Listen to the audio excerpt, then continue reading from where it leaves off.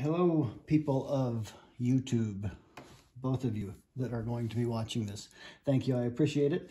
So I'm going to do something completely different. Um, it does have a little bit to do with planning, um, but it also has uh, just a lot to do with um, life in general.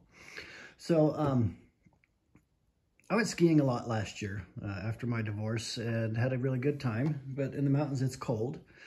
And, you know, skiing during the pandemic lockdown quasi um, hysteria that was going on, um, you always had to have a mask on. Um, and of course, when it's cold, you want to have a mask on. So um, I didn't invest anything. I just had um, this uh, neck muff type of thing that uh, I use primarily for cooler uh, season bike riding. And it's really um, just kind of like a layer of uh, just some kind of stretchy fabric. Didn't really keep me warm at all. Um, but um, it did what it did. And I went one time this year and just my face just froze. So I decided, um, since I have a ski trip coming up, that I would try something a little bit different.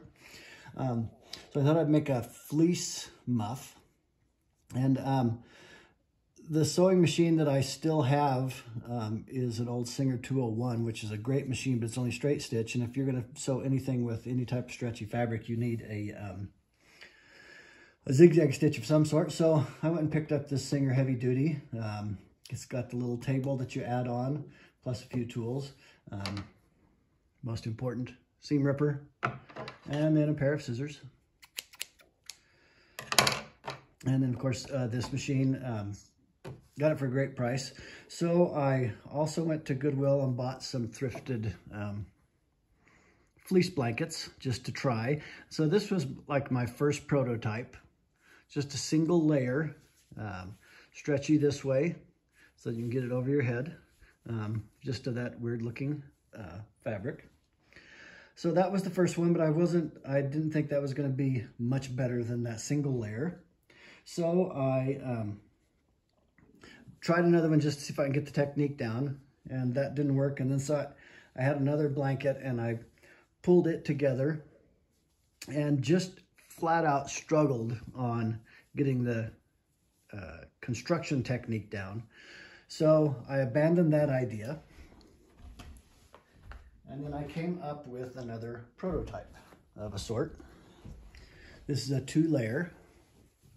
Um, little muff. And again, um, I don't have that many great skills, um, but it's got the thrifted fabric there and the thrifted fabric here. Turns inside out. Um, so double layer, I think it's gonna be plenty warm. And so um, I wanted to make another one that's gonna be slightly smaller because this ends up being pretty big, but it will cover not only um, my you know, face and chin, but also my neck quite well. And um, then could also go up um, underneath my um, ski helmet and kind of protect part of the top of my bald head. So I put together and cut a couple more pieces for this will be prototype five of the same fabric and um, have it all clipped together. One of the things I'm learning about um, using this fleece is this stuff, while it seems to want to stick together, when you're sewing it together, it's going to squirt all over. Um, so I used these binder clips um, to hold it together. I've got it clipped on both sides. So what I'm going to do, this is two pieces with the um, right sides facing each other. So I'm going to pull this in. I'm going to sew a simple zigzag stitch just right down the edge with, you know, a 3 eighths to half inch seam allowance and we'll sew that through there. Oops. Oops. So kind of get it set where I want it. Drop this down. I'm going to take the first clip off. One of the things about these binder clips is compared to like the little um, quilting clips, um, they, they do tend to um, kind of stick on stuff, so I kind of have to pay attention. Um, oops, there's my leg again. I'm not giving you vertigo. So I've kind of got it set up here and I'm just going to go ahead and start. I will start off with uh, a stitch forward. Oops. Well, there you go. I didn't pull my tail. So I've got to rethread. Fortunately, things didn't fall very far. maybe.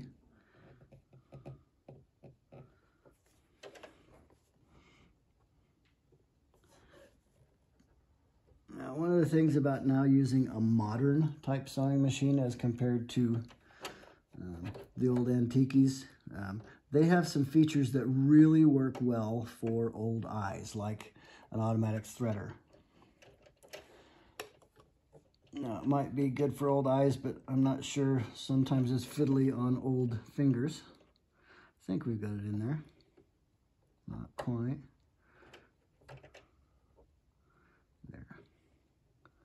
No, not quite. There.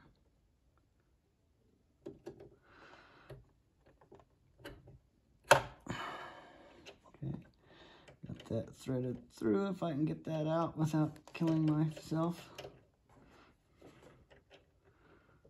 Kind of wrapped around the wrong way. But we'll get it. I'll pull that out. Okay. Got plenty of tail out there. So now let's try this again. Get myself set back up one more time. This is live. Well, not actually live, but you know.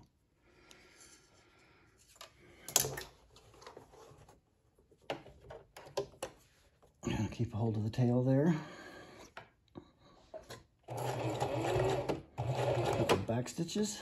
And I will just go ahead and sew through. Some people that would be more practiced and better at this uh, probably go faster. I'm not so good at this. That's okay. This is kind of therapy for an old guy like me. I'm really liking this modern machine just because it's pretty versatile, seems strong enough for me. You know, I've sewn a few things. I've made, you know, a couple of pair of like sleep pants and uh, dop kits and one messenger bag. And uh, I was always kind of in search of that heavy duty or powerful machine and went through several uh, antique or vintage machines to do that. And um, just never was quite thrilled with them. Um, it's not like I'm going to be like, still in a saddle or something like that or building shoes, but um, a couple of layers of things. Uh, as I worked on this little uh, project, I had to kind of remember some of those sewing techniques that I tend to forget, that you forget if you don't do much very often. Uh, just one more clip and then we'll just keep sewing.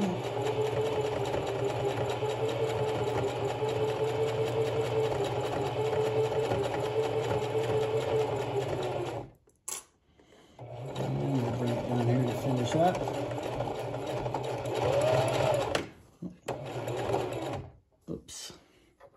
Well, what do you think of that?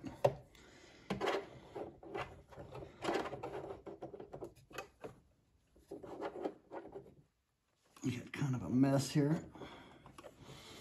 Suck down some of that fleece down into the feed dogs.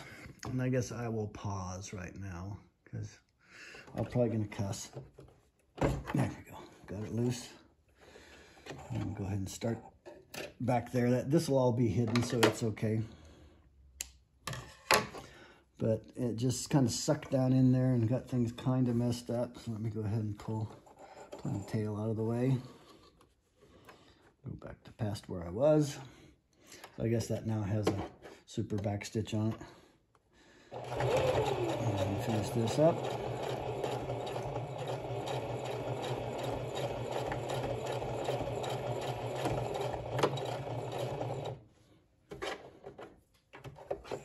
out of the way. One of the things that this modern machine has is a little thread cutter. And it didn't take me very long to get used to that, for sure. Much easier than grabbing scissors. Okay, so there's that side. I'll go ahead and trim my ends. Get those out of the way.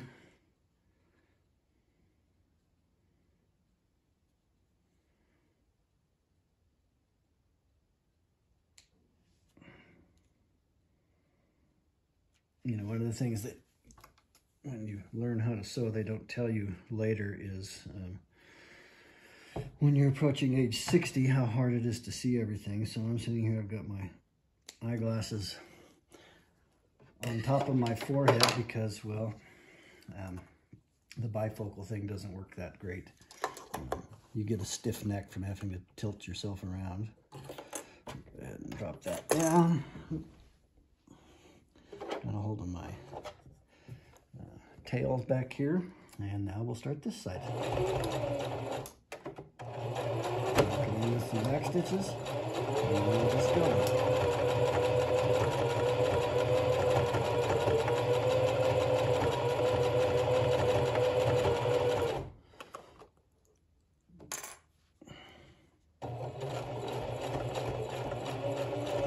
The zigzag stitch I'm using here is just a straight zigzag.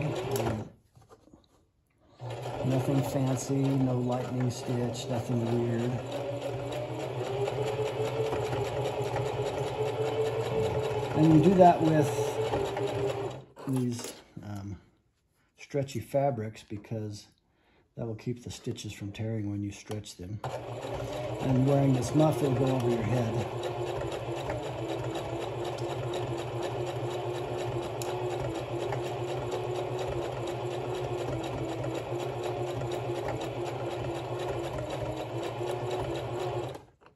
Oops, got a little bit of a pucker there, but we'll deal with that. Just blast right on through there. And we'll get close to finishing up here.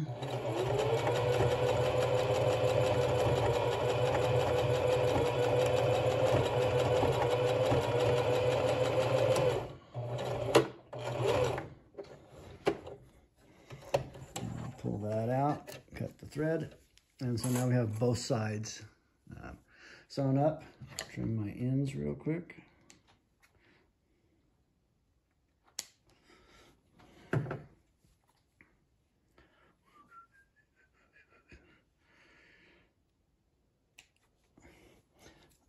Now we're at that part that um, unless you sew some, it's not that intuitive. So what you want to do is take and turn this inside out. So this will actually be the side that um, we're going to look at. So go ahead and turn it completely inside out. All right, it's like that. And then to kind of fold it back on itself and bring the two raw edges together. I'm to match up the seams there. And I'm going to go ahead and kind of pull that seam allowance open a little bit and right up this one anyway, just put a little clip there to kind of hold it in place while I manipulate this, the rest of this around. So it's kind of just making a, another tube. We'll be able to then finish this up. Probably should pull the camera back a little bit, or maybe I'll do that. We can kind of see what's going on here. Okay, so I'm getting the raw just together, matching up the seams. Again, again, um, I'm not a professional tailor. I don't sew very much. Um, I started back sewing because I bought a inexpensive jacket at one of the um, big box sporting goods stores. That dang thing, every freaking seam along the whole thing just started coming apart. Um, so I got the old 201 loose and had it ready to go and ended up basically sewing all of the stitches um, back on that. And so now it won't fall apart, but they kind of got my juices going and so I was ready to go. So see, we've got the layers here. Um, so it's basically a tube. This um, will turn back inside out again. See, basically a tube through there. What I'm gonna end up doing is I'm gonna sew along this, this edge and I'll leave a little bit of a gap in about in there so I can turn it back inside out and then sew that up. So let's see what happens. I'll pull the camera a little closer again. I'm gonna pull this big table out of the way as it's kind of bulky and I'm gonna go ahead and put, I could probably just leave the free arm out there, but I'm gonna go ahead and put this little part in. On this particular machine, it's got a cool little feature in this um, part of the table. Flip that open, you got your little tool section, um, extra bobbins and stuff like that. And so I'm kind of getting reset on sewing. Um, I don't quite have that figured out.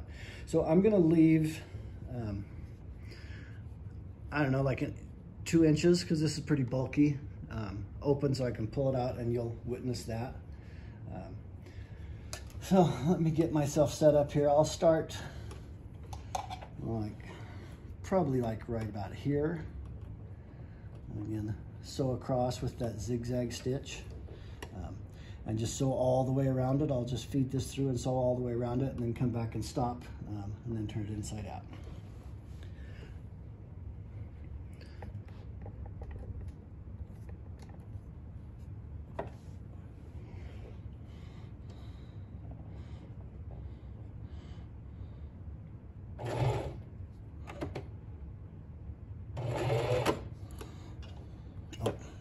Guess you got to put that down to make that work. See, there's little things, if you don't sew very often, you just kind of forget. Or you can claim you never knew. It's probably more what I am. I just never knew some of this stuff.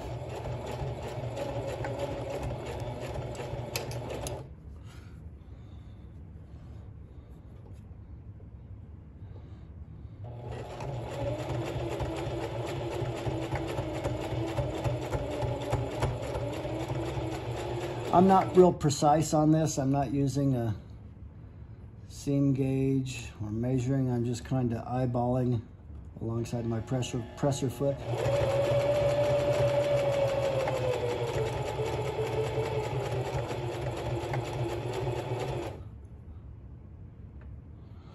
One of the things about this Singer Heavy Duty is it's got this little clear plate over the bobbin, the drop-in bobbin, so you can see how much um, thread you still have in your bobbin. That way, um, as I sew along the few little projects I make, I, maybe I won't be surprised.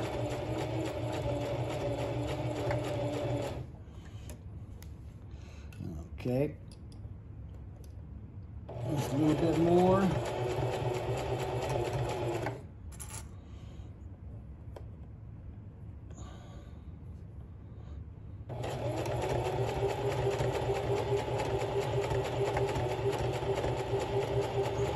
Ah, it's gonna look kind of ugly. It's all right. Okay, and back here is where I started, so I'm gonna sew to about here.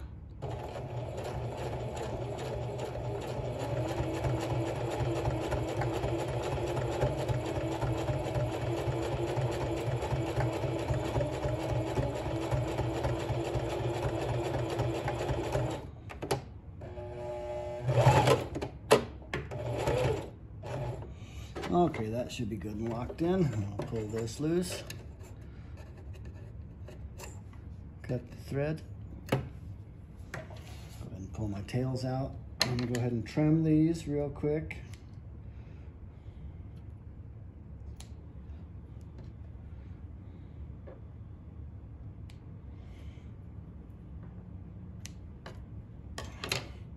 Got a little bit of a mess over here because I forgot to put the presser foot down, so I've got a little bit of a mess here that I'll just clean that up.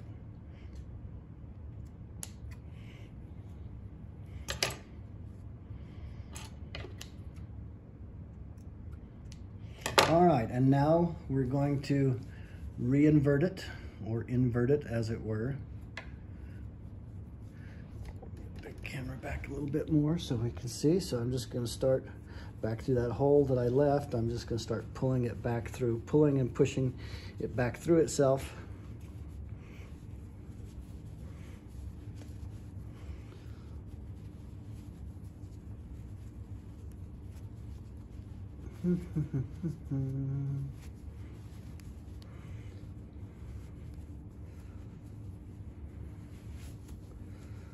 okay, now we've got it all pulled out. Of just kind of fool around with a little bit, get it the way I want it. Okay, and the last part I'm gonna have to do is sew up that little hole that I left. And I think I'm gonna go ahead and try to hand sew it. So I just gotta figure that out. So um, I'm not gonna make you sit there and watch it. Um, but essentially sew it kind of inside there, cinch that up and it'll be closed. And then this is then will be ready to wear, reversible. It's got the softer side of the fleece on both sides. Um, looking at my edges, well, I did a pretty decent job. A few little puckers in there, not bad.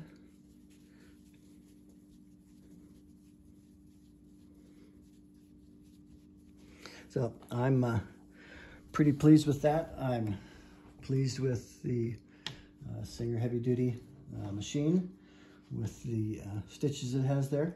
And um, I hope you have a great day and I hope you found this entertaining and amusing. Um, so, if you have coats falling apart or want to make yourself a nice neck gaiter or things like that, um, don't be afraid to grab your old sewing machine and get after it. A 58-year-old man, if I could do this, I think almost anyone can. Have a great day.